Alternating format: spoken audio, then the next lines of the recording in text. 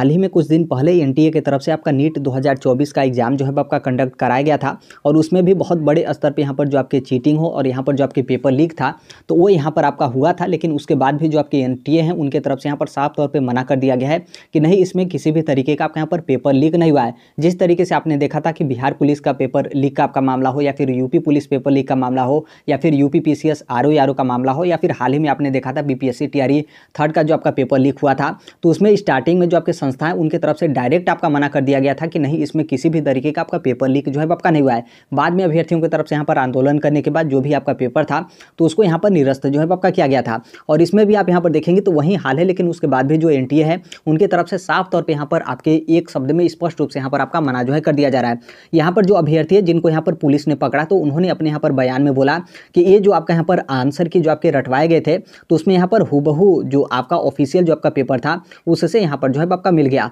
और इसमें सबसे बड़ी बात है कि जो आपका हाल ही में बीपीएससी टीआरई थर्ड का पेपर लीक हुआ है तो यहाँ पर जो बेटा है वो पेपर लीक मामले में वो यहाँ पर जेल में है और यहाँ पर जो बाप है वो यहाँ पर नीट का जो आपका पेपर लीक हुआ है तो उसमें यहाँ पर जो है वो यहाँ पर मास्टर माइंड है और ये आपका मामला बिहार का जो आपका पटना है वहाँ का है आप यहाँ पर देख सकते हैं जो अभ्यर्थी हैं उनके तरफ़ से यहाँ पर बयान जो है आपका दिया गया है और इसमें साफ़ तौर पर बोला गया कि इस तरीके से यहाँ पर जो आपके आंसर किए हैं वो यहाँ पर आपका रटवाया गया था और यहाँ पर हुबहू जो आपका ऑफिशियल पेपर था उससे यहाँ पर मैच आपका किया गया था यहाँ पर आप देख सकते हैं बीपीएससी टीआरई थर्ड का पेपर लीक को लेकर आपने कुछ दिन पहले जो है वो देखा था कि 20 अप्रैल 2024 को यहाँ पर जो आपके बिहार की आर्थिक अपराध इकाई है उनकी तरफ़ से यहाँ पर उज्जैन पुलिस के यहाँ पर सहयोग से यहाँ पर जो मुख्य आरोपी था जो यहाँ पर डॉक्टर शिव था तो उसके सहित यहाँ पर पाँच लोगों को यहाँ पर पकड़ा गया था जिनका यहाँ पर टोटल समझ जो आपका बीपीएससी टीआरई थर्ड का पेपर लीक हुआ था तो उससे यहाँ पर जो है आपका जुड़ा हुआ था तो ये लोग यहाँ पर क्या है कि जो आपका नीट का जो अभी आपका पेपर लीक हुआ है तो उसमें भी इन लोग का यहाँ पर सबसे बड़ा यहाँ पर हाथ है तो ये सबसे बड़ी यहाँ पर मुसीबत है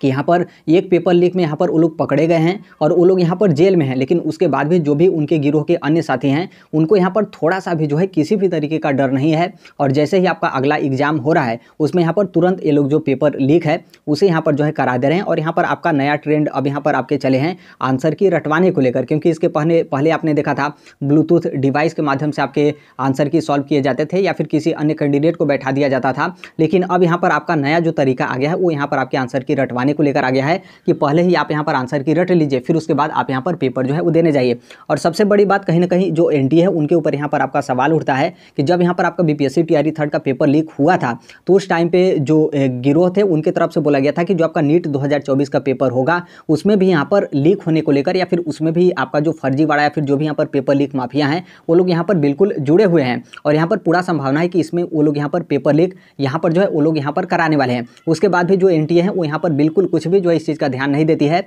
और उनके तरफ़ से जो आपका नीट 2024 का एग्ज़ाम है, उसी तरीके से बिना कुछ सुरक्षा के या फिर बिना कोई उस तरीके की कड़ाई से यहाँ पर आपका कंडक्ट जो है करा लिया जाता है। तो अब यहाँ पर आगे आने वाले समय में अब यहाँ पर देखिए क्या होता है, लेकिन यहाँ पर जो आपके जो पुलिस टीम है, उनके तरफ़ से यहाँ पर बयान तो लिया जा रहा है और उनके तरफ़ से यहाँ पर बाकायदा आपका प्रूफ भी दिया जा रहा है कि नहीं, ये जो आपका पेपर है, वो यहाँ पर आपका लीक हुआ है और जो आपके आंसर की है, वो यहाँ पर आपका रटवाया गया है। अब इसमें सबसे बड़ी बात, जो आपका बीपीएससी टीआरई थर्ड का री एग्ज़ाम है, उसको लेकर है, क्योंकि अभी भी आप देखेंगे अभी हाल ही में आपका टीआरई थर्ड का पेपर लिख हुआ और फिर उसके बाद हाल ही में यहाँ पर आपका जो नीट का एग्ज़ाम है, वो यहाँ पर आपका लिख हुआ। कोई डर यहाँ पर नहीं है। उसके बाद भी बीपीएससी की तरफ़ से आपका एग्ज़ाम डेट दे दिया गया है। दस और ग्यारह जून दो हज़ार चौबीस को टीआरई थर्ड का आपका री एग्ज़ाम होगा। उसके साथ ही जो अन्य वर्ग के जो शिक्षक हैं, सभी वर्ग के शिक्षकों का यहाँ पर आपका एग्ज़ाम बीपीएससी की तरफ़ से दस और ग्यारह जून के बीच में आपका दो दिन में यहाँ पर आपका फाइनल जो है कंप्लीट करा लिए जाएँगे। तो कहीं ना कहीं बीपीएससी को भी इस बात को जो है वो समझना चाहिए। कहीं ऐसा ना हो कि फिर से जो आपका टीआरई थर्ड का एग्ज़ाम हो तो फिर से उसी तरीके से यहाँ पर कहीं आपका लीक जो है आपका ना हो जाए। तो ये कहीं ना कहीं बीपीएससी को जो है वो समझना चाहिए